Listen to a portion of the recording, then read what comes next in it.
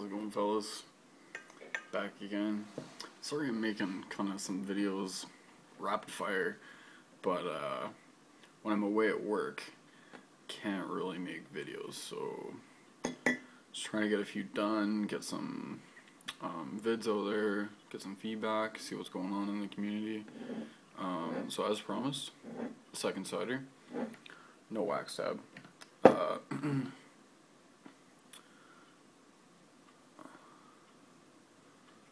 this would be the apple peach, and this is two parts apple, one part peach.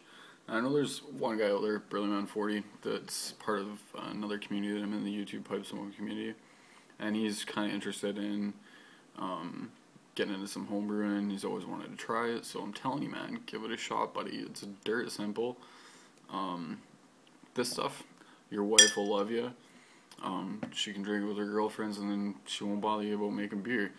Um, all you need is you go to your local grocery store and where they have the water filling stations for like the home water coolers usually they'll be the gallon jugs for filling up water as well like four liter or one gallon jugs plastic.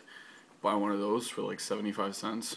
Go down to the juice aisle find some pasteurized um, no preservative uh, organic apple juice three liters of that, so three boxes, three liter or one liter Tetra packs, and um, get some brewers like uh, dextrose. And usually at grocery stores, sometimes they'll have like a wine kit and like beer aisle. Um, I know they do in Canada, so they must in the states. And you want dextrose because if you use regular, you can use regular table sugar, but if you do that, your carbonation will be loose. It won't be tight and so you need the dextrose and uh, three liters apple juice 500 grams of uh, brewer's dextrose dump that into your apple juice cap it shake it all up so it's all dissolved properly and then uncap it and then get some wine yeast. They'll probably have that there too. The most common brand is Lalvin and uh, just look for wine yeast or champagne yeast dump that in there, cap it, shake her all up, and then if you don't want to get a, a bung and an airlock, you can just twist the cap on till it's on all the way, and then just twist it back a little bit, and the um, uh, yeast consuming the uh, sugar, creating alcohol, will create enough gas that there'll be enough pressure that it'll be constantly flowing out, and air won't be able to get in. So it's like your jail airlock basically. So that's all you need. Takes about a week, and then you can bottle it, and you got some hard cider, man. So let's get down to it. Got our apple peach cider review. This one's got quite a bit of carbonation smoke coming off of it. Mm. it smells a lot better than the apple guava. Definitely a lot more clear, better carbonation and uh, brighter color to it.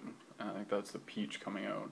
The guava was kind of a tangier orange color. This is a brighter orange, and the carbonation is quite nice.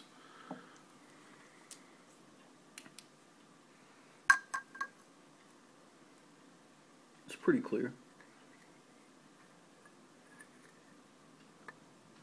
It's it's foggy because of the extra type of juice that I added, but still get that champagne smell because both of them I had to repitch the champagne use. It's a little bit lighter on the champagne.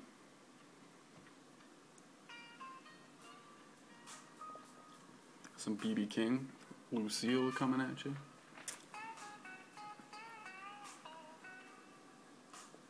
Definitely sweeter note, not so heavy on the champagne this time.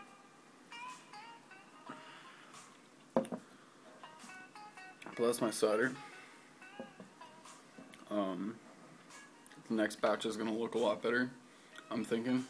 The original gravity, I actually took a picture of it. The original gravity of this cider I'm making now was a 1.079. Uh, so it's going to be pretty high. Um, which is what I wanted. It's supposed to be hard cider, right? So, uh, I think I'm going to like that big time.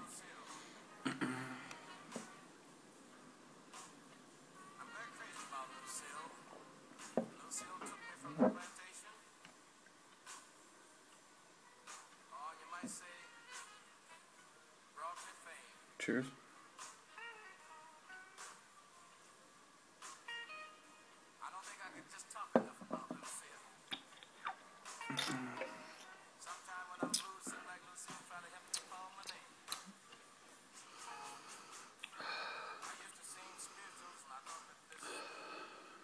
Can't really. I definitely smell peach over apple. And the other one, I could smell the guava, but it makes a strong, strong champagne. So the next one, because it's, I wanted to go straight apple, I think it's gonna taste a little bit different, a little bit sweeter. Definitely has apple taste. It's gonna be like uh, apple, apple vine, like apple wine or whatever, basically.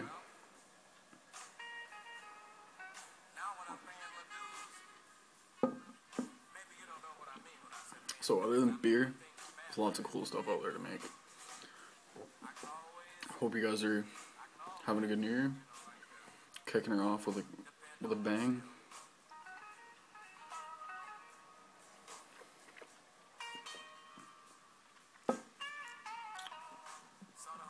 Just a side note about something I really want to do. I want to kick off a contest, but I need some Canadian brewers to get in on this, and the one guy that I thought that would kind of help me do that isn't really doing that. So maybe you, I want you to help me, and it's for St. Patrick's Day. I'm calling it Luck of the Irish. Luck of the Irish by, and what it's gonna be for St. Patrick's Day is a stout mail-in entry and I'll be giving away some swag, maybe a t-shirt, maybe a hoodie, um, you know, maybe mail back some beer, um, maybe some ingredients or something, maybe I'll order a beer kit and then have that and like some t-shirts and stuff, but um, I just want to get some feedback on that. If you're interested, you guys think it'll be cool, um, simple, you know, mail in contest, mail in a bottle of your stout. Um, I wanted to announce it now because it's right after Christmas and St. Patrick's Day is only like two months away. So it kind of gives people the time to recoup from the holidays and finish up whatever they're brewing. And if they're wanting to do some stout, I'm sure homebrewers love to do stout for, or porter even, for uh, for St. Patty's to have around. Um, I'd love to do that. So there'll be wicked prizes. Um, even if you're in the States, I'm sure you can mail it in. And if you're not sure, what the hell, try anyway. Like, what are they going to do to you? Um, so give me some feedback. Uh, spread the word. You know, I don't want like 150 entries or anything. But, you know, like 10 entries or something. If I got 10 guys on board that thought it would be a cool idea, you know, you win a T-shirt, um, maybe some magazines, um, and a and a beer kit, like a Brewer's Best beer kit, a premium one that's got some grains, so you do like a mini mash or something. So it'd be a pretty good prize. But uh, anyway, um, that's it for tonight. Uh, hope you guys enjoy. Think about it. Luck of the Irish by for St. Patty's stout mail-in entry.